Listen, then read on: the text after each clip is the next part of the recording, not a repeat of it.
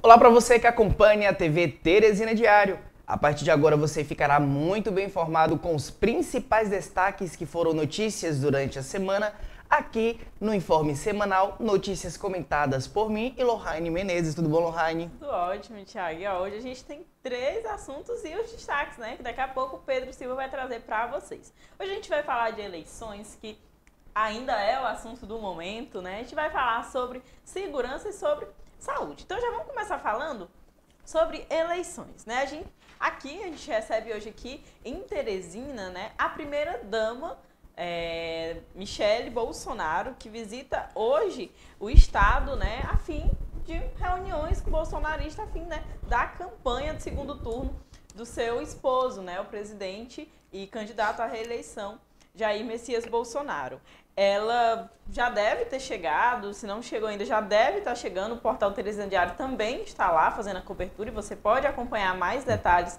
no site. E essa informação, né, toda essa, essa receptividade foi feita né, pela a presidente do PL aqui do Piauí, que é a Samanta Cavalca.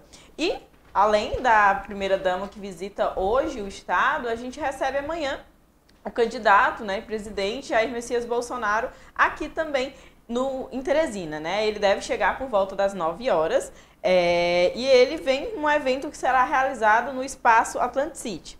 A visita dele tem como também, né, objetivo de conquistar mais votos aqui no Piauí, um estado que ele teve aí apenas 19,90% dos votos, né? É, e aí ele deve, como eu falei, ele deve chegar por volta das 9 horas no aeroporto é, senador Petrônio, Petrônio Portela, desculpa, e vai discursar para lideranças políticas e apoiadores. Essa, essa passagem dele aqui vai ser super rápida, porque logo depois ele tem mais uma agenda. Realmente, né, Lohane? Um grande desafio aí para o nosso presidente Jair Bolsonaro, né? Vir num estádio onde teve esse percentual Apenas de rejeição, isso, não é isso?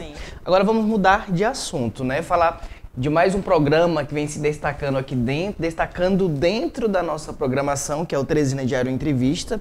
Nesta terça-feira nós recebemos o delegado-geral da Polícia Civil, Lucy Keiko, que ele falou justamente sobre essa questão do fortalecimento da segurança pública, não só em Teresina, mas como também no estado do Piauí. Né? Ele falou sobre essas ações voltadas a essas violências, ao combate né, a essas guerras entre facções, como ele mesmo fala que é denominado guerras, onde tem muitas, muitas mortes aí no, no, na nossa capital, principalmente no litoral do estado do Piauí também, né? Ele debateu sobre essa questão do enfrentamento às drogas, né? Que é o primeiro passo para essa briga de território entre essas facções, que é justamente essa questão de quem vende mais, de quem pode e tudo, né? Ele destacou também sobre uma apreensão de drogas que foi realizada também nessa semana aqui em Teresina parabenizou a Secretaria de Justiça pelo excelente trabalho que ela vem desenvolvendo dentro dos presídios, falou também sobre a, a, queda dessa questão de brigas e de mortalidades dentro de entrevistas, ou dentro do presídio, perdão. Exatamente. E aí a gente percebe, né, Tiago, que ao longo das semanas é mais é, homicídios e, consequentemente, mais prisões, mais ações da polícia. A gente percebe que todos os dias há uma ação da polícia, há uma apreensão, uma prisão. E é uma, uma situação que realmente merece toda essa atenção é, da segurança pública. Né? Então, vamos mudar mais uma vez de, de assunto.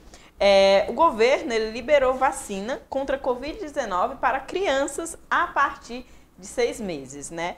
É, essas vacinas elas serão ali para criança de seis meses até quatro anos de idade que tenham comorbidades. Essa informação, ela, ela está né, é, relacionada à pasta que receberá um total ainda de vacinas que não foi definido.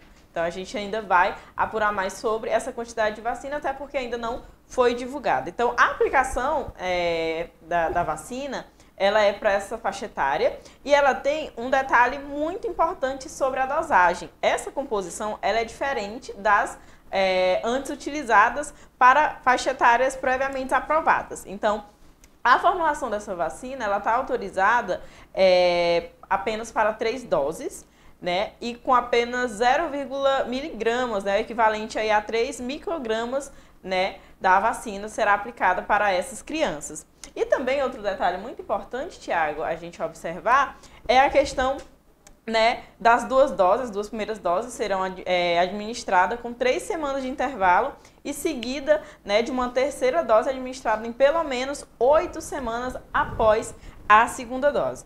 E outro detalhe é, importante frisar é que a tampa né, dessas vacinas ela é diferente. Ela vai ter é, uma cor vinho justamente para os profissionais né, de saúde não se confundirem ali e aplicar uma dose né, a mais ou a dose errada é, na criança. E ela, é, a vacina é a Pfizer, então vai haver essa identifica identificação até também para os pais, para os familiares já estarem atentos e saber ali que a sua criança está recebendo a vacinação correta.